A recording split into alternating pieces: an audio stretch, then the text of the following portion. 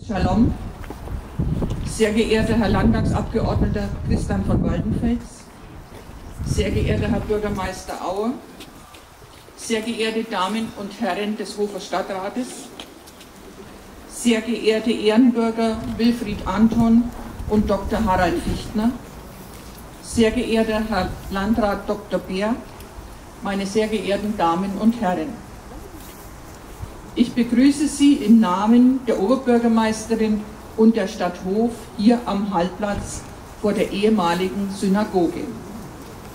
Ich danke Ihnen allen, dass Sie gekommen sind, um gemeinsam an den 9. November 1938 zu erinnern und an das, was an jenem Tag und auch in der Folge der Reichspogromnacht geschehen ist.